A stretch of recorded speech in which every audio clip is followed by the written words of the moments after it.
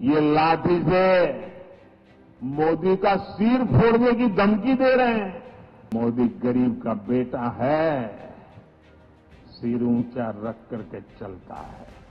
उन्हें सजा मिलनी चाहिए कि नहीं मिलनी चाहिए? क्यों? दुनिया में 10 साल का सबसे बड़ा महासंकट आया। Corona, covid. लोग कहते थे भारत कैसे बचेगा? भारत के गरीबों का क्या होगा? कांग्रेस के अमीरों की सरकार के समय देश में बीमारी का टीका आने में दशकों लग जाते थे।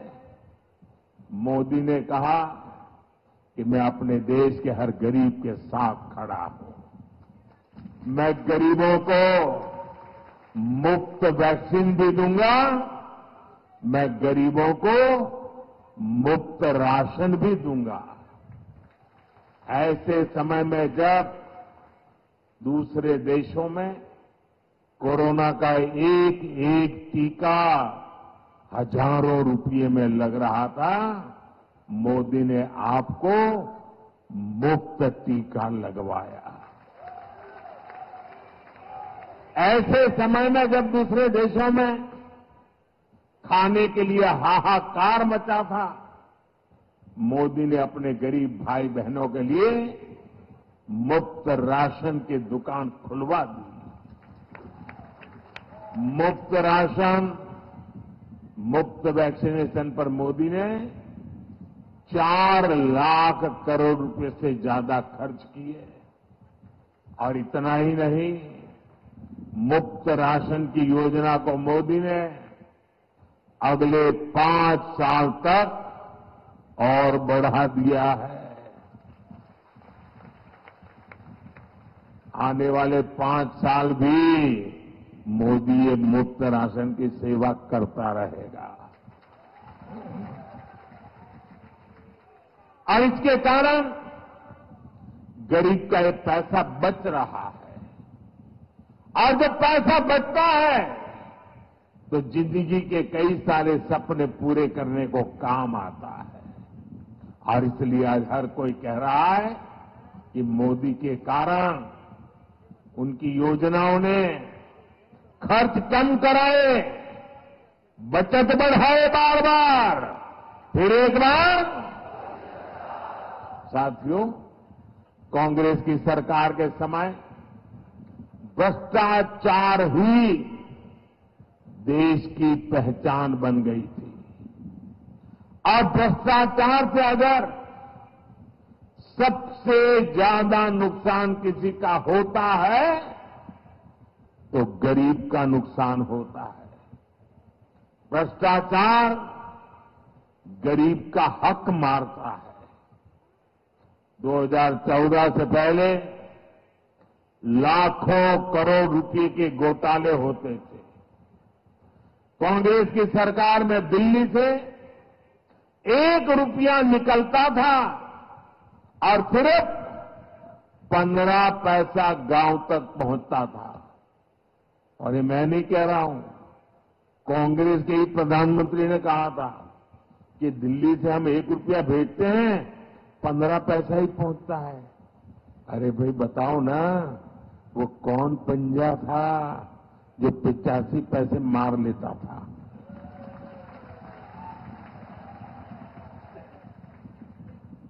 मोदी ने कांग्रेस की लूट की से पूरी व्यवस्था मैंने इसको बंद कर दिया है। भाजपा सरकार ने अपने 10 साल में 34 लाख करोड़ रुपए आंकड़ा याद रखिए 34 लाख करोड़ रुपए सीधे लाभार्थियों के बैंक खाते में भेजे हैं।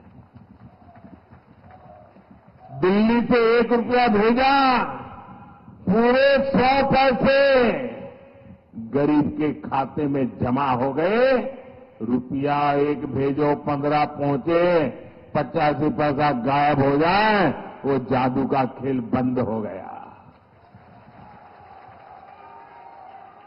और जब डायरेक्ट पैसा जाता है तो एक भी पैसा कांग्रेस लूट नहीं पाई। अगर देश में कांग्रेस की सरकार होती तो ये कांग्रेस गरीबों के जो चौंतीस लाख करोड़ है ना और राजीव गांधी वाला अगर मैं हिसाब लगाऊँ तो 28 लाख करोड़ रुपए लूट लेते। चौंतीस लाख करोड़ में से 28 लाख करोड़ गायब हो जाते। आज़ादी आज़ादी के बाद से कांग्रेस समझती थी कि उसे देश को लूटने का लाइसेंस मिला हुआ है। 2014 में सरकार में आने के बाद मोदी ने कांग्रेस की लूट का लाइसेंस ही कैंसिल कर दिया है। और मोदी लाइसेंस इसलिए कर कैंसिल कर पाया क्योंकि आपने मोदी को लाइसेंस दिया था।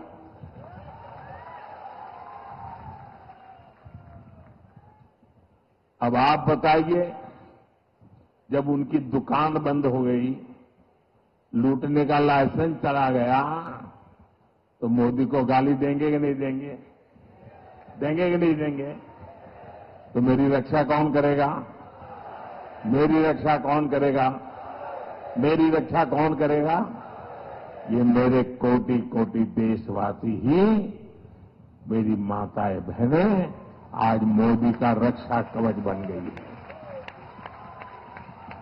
साथियों, मोदी ने जब घोटालेबाजों का रास्ता रोका।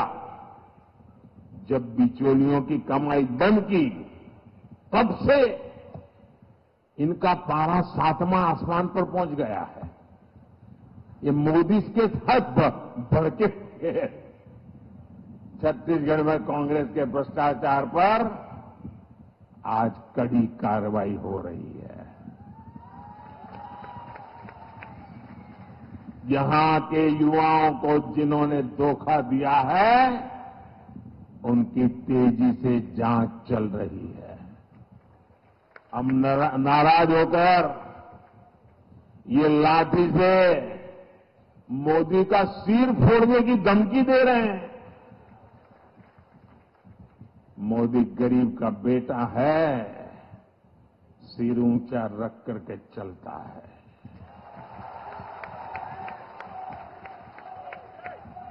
मोदी इनकी धमकियों से डरने वाला नहीं है। आप मुझे बताइए, गरीबों को जिन्होंने लूटा, गरीबों को जिन्होंने लूटा, उन्हें सजा मिलनी चाहिए कि नहीं मिलनी चाहिए? सब लोग बताइए, सजा मिलनी चाहिए? सजा मिलनी चाहिए। साथियों, कोई घर में घुस आए और लूटपाट करने लगे तो परिवार का हर सदस्य उससे भीड़ जाता है। मोदी के लिए तो मेरा भारत, मेरा परिवार है। मैं भी अपने देश को अपने परिवार को लूटपाट से बचाने में जुटा हूँ।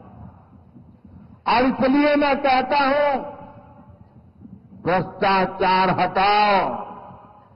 और वो क्या कहते हैं? वो कहते हैं, भ्रष्टाचारी बचाओ। चुनाव की रैलियाँ नहीं कर रहे हैं, भ्रष्टाचारी को बचाने की रैलियाँ कर रहे हैं।